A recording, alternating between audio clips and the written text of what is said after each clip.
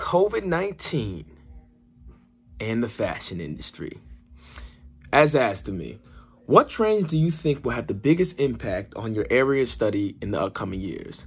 I would have to say COVID-19 and the fashion industry, specifically because with COVID-19, it has rocked the war our entire world for the last year and some change. It has changed our landscapes of business. It has changed our mental aspect as a people. And as far as the news and for broadcasting, it has gave a plethora of different ideas, new commentators, and issues that are discussed on a daily basis based off the influx and changes in the vaccine, COVID-19, and any other issue dealing with the virus.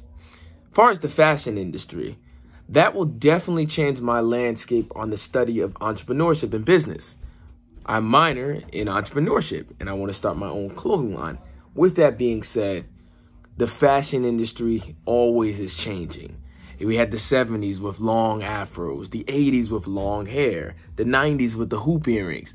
Every generation has this new, new different style of fashion. The 2000s, we had baggy jeans. With that being said, fashion constantly changes, but I will have to be able to adjust to the changes of fashion and learn the business of it so that the marketing can stay the same and my business can still be successful. Those are the two major changes I see that are going to be happening in our world.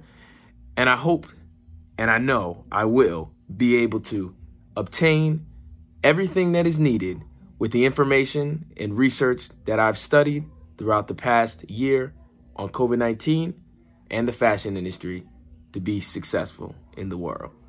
That's my impact. Thank you.